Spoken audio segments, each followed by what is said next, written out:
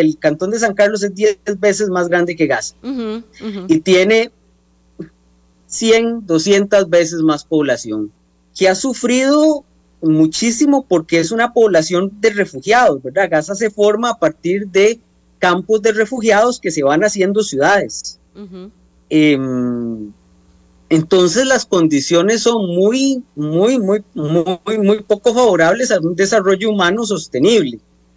Eh, en el momento que Israel se echa para atrás y devuelve esto a control de manos palestinas, eh, luego de la segunda intifada, y, en un intento de apaciguar la segunda intifada, lo cierto del caso es que este, esta población de Gaza va a tener elecciones y va a ganar jamás, porque la autoridad palestina es bastante, bastante, ya para ese momento la autoridad palestina tiene dos acusaciones. Sí.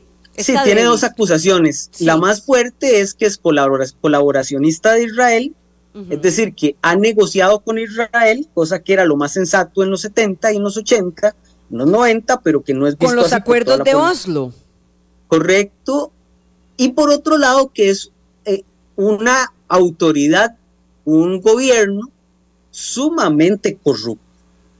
Y eso permite que el discurso de deja más que evidentemente no es, es confrontativo y es agresivo, tenga, tenga muchísimo éxito. Eh, y si a eso le sumamos que, perdón Evelyn, que el dinero va a venir de Qatar para, para fortalecer a Hamas, eh, permitido hasta cierto punto por, por Benjamin Netanyahu, que abrió la posibilidad de que el dinero fluyera, y con el soporte de Irán, pues tenés el caldo de cultivo para una situación espantosa para la sociedad gazatí. Por tres razones.